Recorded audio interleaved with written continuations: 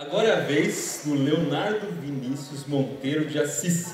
Ele é formado em farmácia pela Universidade Federal de Ouro Preto e atualmente doutorando no Instituto de Biociências da Universidade de São Paulo e tem financiamento da FAPESP. Lá, Leonardo.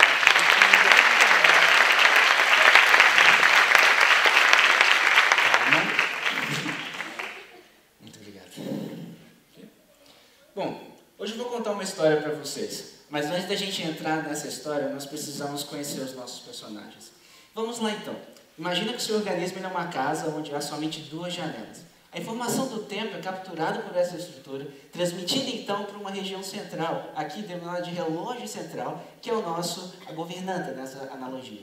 E ela então, baseada nessa informação, transmite a informação do tempo para os demais cômodos dessa casa. E ao fazer isso, todas as atividades domésticas daquela casa, ou seja, as nossas funções fisiológicas, elas estão sincronizadas ao meio externo. Bom, mas toda história ela tem um vilão. E o vilão de hoje é o câncer. Então vamos lá. Imagine então que era uma vez um cidadão que morava dentro de uma casa desse cômodo. E algum dia ele foi atingido por uma radiação gama, radiação UV, e aí então ele começou a se comportar de forma esquisita. E ao passar de longos e vários anos, ele acabou dominando aquela estrutura, aquela, aquele órgão, fazendo com que aquele cômodo não mais respondesse aos estímulos exercidos pela governanta. Bom, mas como que acontece isso?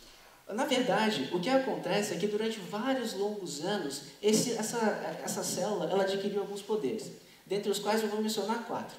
Ela apresenta o poder da camuflagem ela consegue passar despercebido pelo sistema imunológico e constantemente patrulha aquele cômodo e aquela casa. Ele, e mesmo quando ele é detectado, ele ainda custa para morrer, ou seja, apresenta uma resistência elevada à apoptose. E também ele apresenta o poder da influência, ou seja, ele faz com que todas as células normais consigam então patrocinar o seu crescimento, mesmo em detrimento delas. E, consequentemente, ele apresenta o poder do crescimento desordenado, ou seja, ele cresce a taxas muito maiores do que os seus próprios colegas. E o resultado disso é, como eu disse, ele toma controle daquele cômodo.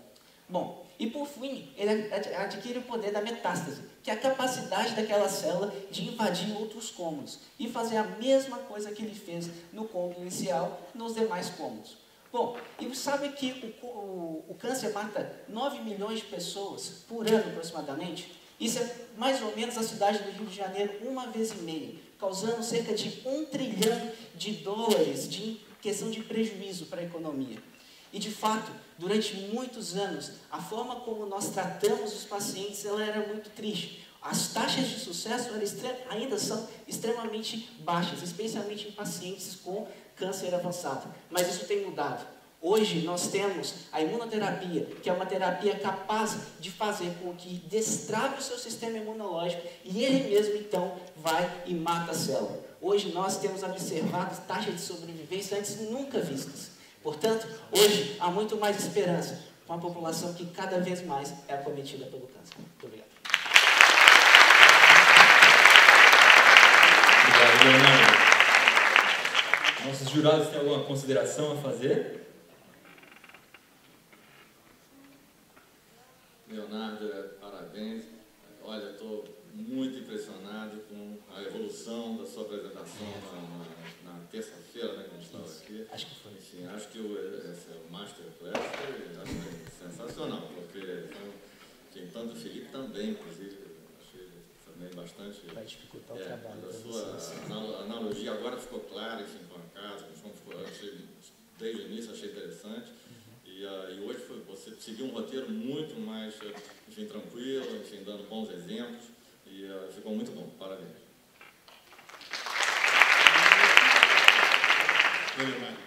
esse mecanismo se aplica a uma variedade grande de cânceres? Qual o mecanismo da... Esse mecanismo da, da, da disfunção do relógio. Sim, na verdade o nosso grupo de pesquisa, junto com várias pessoas da literatura, a gente tem trabalhado com a ideia de cronorruptura, que é todo esse processo, é a ruptura do, do tempo no organismo. E ainda não é entendido ou classificado como um dos marcos do câncer, mas eu espero, junto com o meu grupo e com outros grupos na literatura, realmente validar isso. E já tem vários, câncer de, de pele, de fígado, eu trabalho com melanoma mais especificamente, mas sim, é, em vários em vários casos, se não todos. Leonardo, parabéns pela apresentação.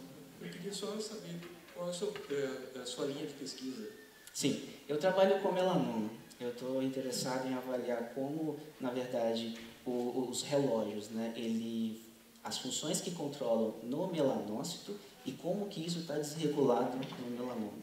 Então a gente tá, o meu trabalho ele tenta abordar como que a célula percebe luz e como que essa informação está sendo transmitida para o relógio do melanócito e como que isso está desregulado no melanoma. E a gente já, já demonstrou que a célula do melanoma ela é muito mais sensível à luz, ela tem um sistema de captação bem mais sensível e além disso é, a maquinaria do relógio ela é muito menos expressa, só que ela é mais responsiva a vários estímulos, luz, radiação. Qual tipo de luz?